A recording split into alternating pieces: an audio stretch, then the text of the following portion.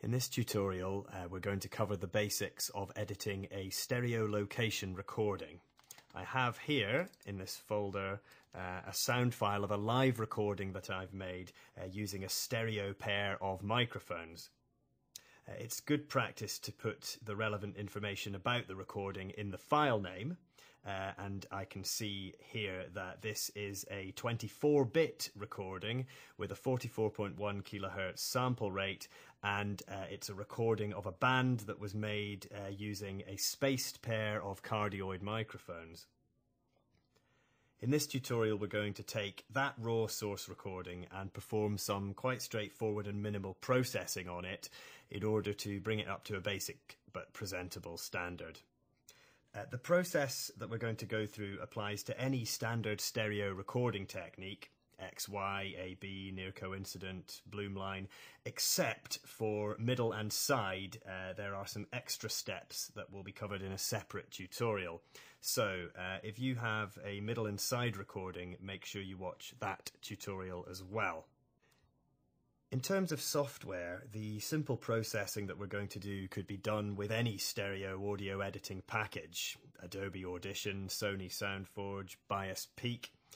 Uh, we're going to use a piece of software called Audacity for the reason that it is an open source audio editor that's freely available online.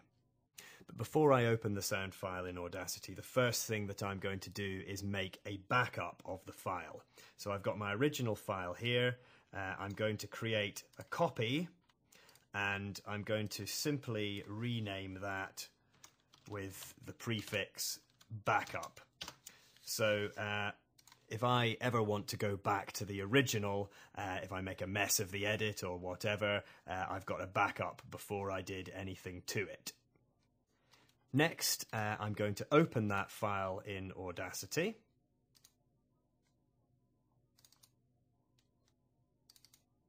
So the file imports.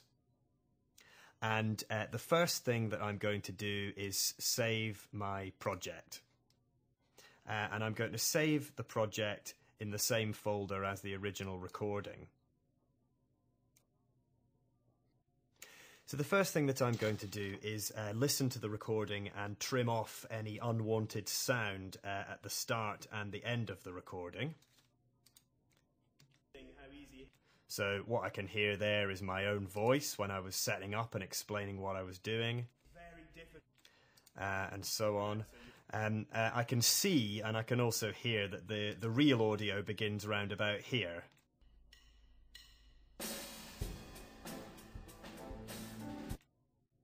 So there are a few stick clicks uh, and then the uh, performance proper begins round about here. So what I'm going to do is select all of this and uh, hit the delete key on the keyboard and just trim that off. And the same at the end, uh, I can see roughly here where the where the music ends. Let's just have a quick listen to that.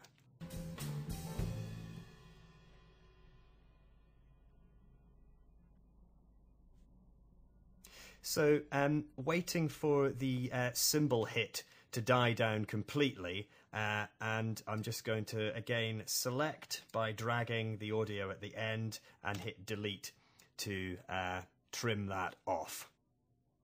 And save the project. The next thing I'm going to do is normalize the file. Uh, we can see here uh, from looking at the waveform uh, that the levels are actually quite low.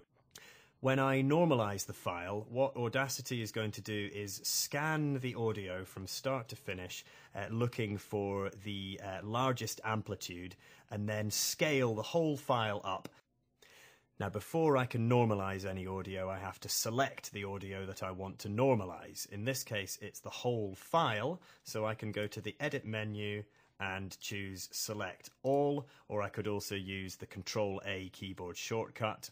I'm then going to go to the Effect menu and choose Normalize.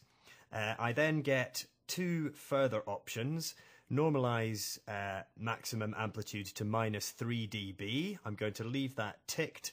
That means it's not going to maximize it right to the top here. It will leave uh, 3 dB of headroom. Uh, remove the DC offset. I'm going to leave that ticked as well. Click OK. we get a little bit of processing, and we'll immediately see that the waveform has been normalized and will therefore sound much louder.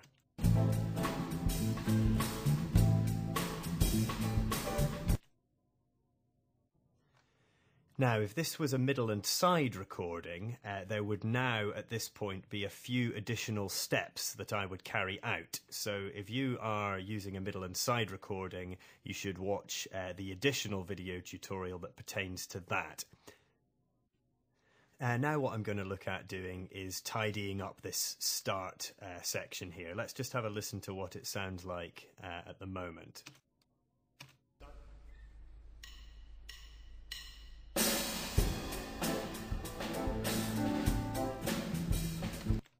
Okay, uh, there were a few stick clicks and there was a little bit of unwanted noise right at the start there. So let's say that I want to keep the stick clicks but get rid of the uh, little bit of me talking. What I'm going to need to do is use the zoom tool to zoom in by dragging uh, on the uh, little selection at the start here.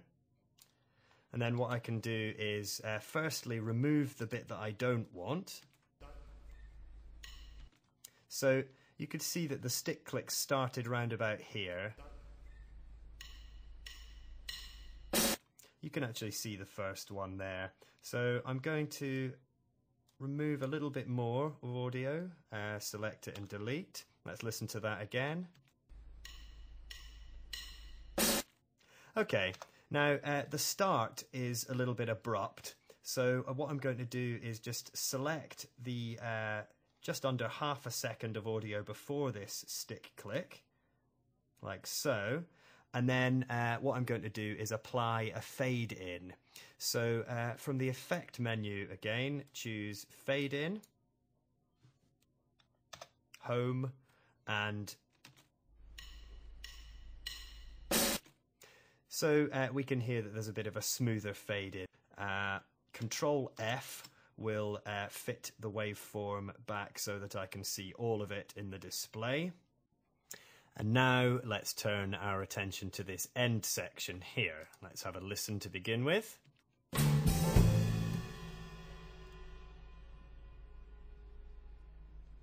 Notice that there is some unwanted background noise here.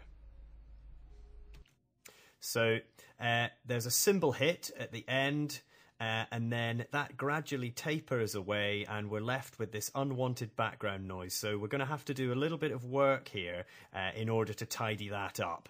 Uh, what I can probably do is chop a bit more of this ending here off.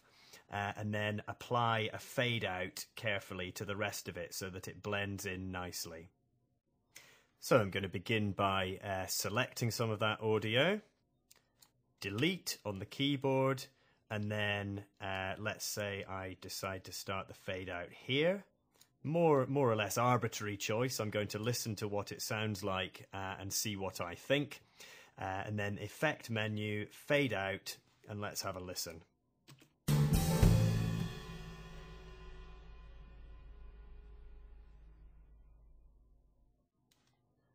Okay, it's smoother than it was before, but I'm still hearing quite a lot of that background noise around here. Uh, so what I think we need to do is cut off more audio and apply the fade out slightly earlier on. So the first thing I'm going to do is undo what I've just done. I, I could use the keyboard shortcut Control Z, or I can go to the edit menu and do undo fade out. Uh, what I'm then going to do is select some more audio and trim even more off and then apply the fade out again in a slightly different place.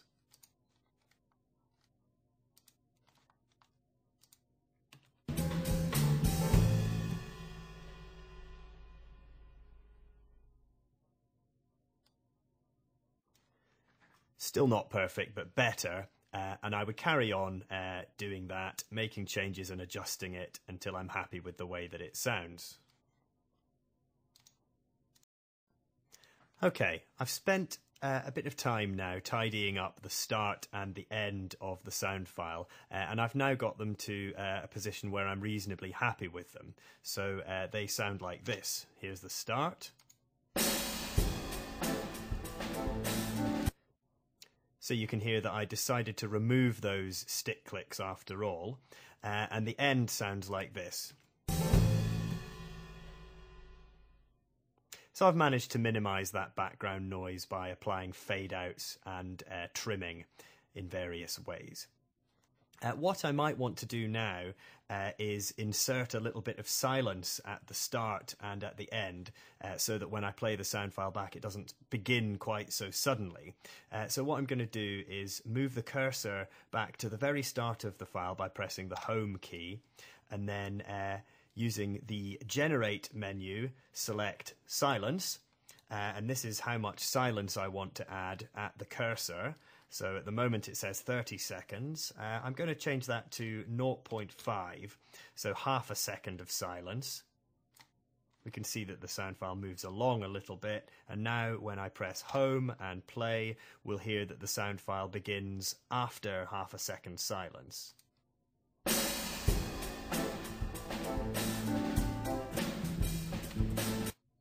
And uh, similarly, I'm going to do the same thing at the end.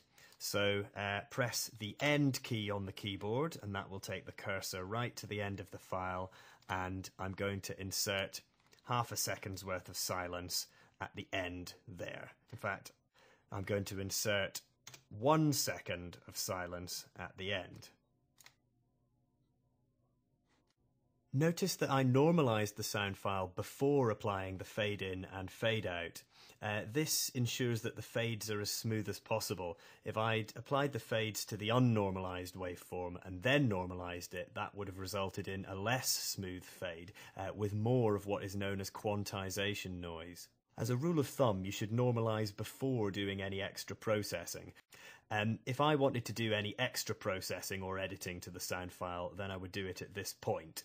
Um, but uh, a lot of that can be avoided by getting a really good recording in the first place, and that's really what you should aim for. I think I've done everything that I need to do now. Uh, so uh, finally, I'm going to listen to the sound file through from start to finish uh, just to make sure that it does everything that I want it to.